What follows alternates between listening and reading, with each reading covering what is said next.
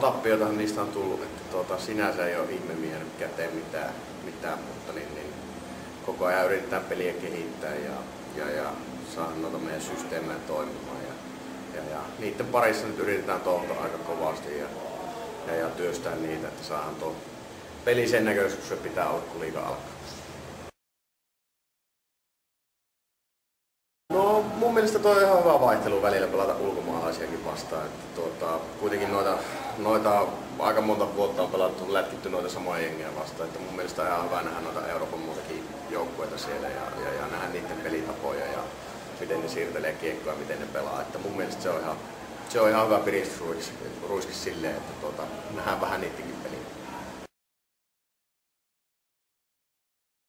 No totta kai siinä on monta asiaa, mutta niin ensimmäisenä tulisi tälleen roolitus tietysti ja, ja, ja kuitenkin meikin on 27 täytin tuossa kesällä, niin en ole enää ihan nuori poika ja näin poispäin. Että kyllä sitä tietysti vähän isompaa roolia haluaa, haluaa ja tietenkin haluaa ottaa sen sieltä, että, että, että peliaikaa vähän enemmän ja tämmöisiä pieniä juttuja, mistä tulee sitten kuitenkin se kokonaisuus. Että, että, että. Tämä näyttää tällä hetkellä ihan hyvältä hyvältä, mutta niin, niin on paljon parannettavaa joukkueella itsellä ja varsin kaikilla johtokunnan jäsenillä. No joo, kyllä oli, että ei sinänsä, että kaupunki on sinänsä tuttu ollut jo ja muuta, että, että, että helppo ollut tulee joukkueeseen ja muutenkin.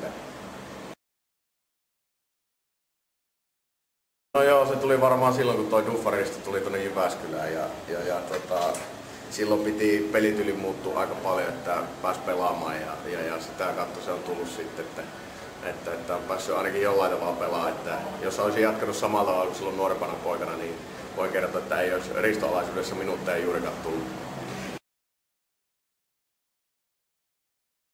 No totta kai siellä on aika paljon nuoruutta ja tietysti on sillä kokemustakin sen verran, että siinä on sinänsä tietysti kaksi aika erinäköistä joukkoa. Silloin Jyväskylässä oli nuorempia suunnilleen pelaajia ja nyt on täällä sitten vanhempia. Että, että, että tietysti yrittää sieltä mitä vanhemmilta pelaajilta saan oppia ja yrittää ammentaa sitten, sitten tuolla nuoremmille niitä ja näin poispäin. Että, että, että, se on hyvä, että täällä on kuitenkin aika paljon juniorityötä ja näin, että niitä lähdetään ajamaan sitten sisään, että sinänsä se näyttää aika hyvältä täällä näin kuitenkin.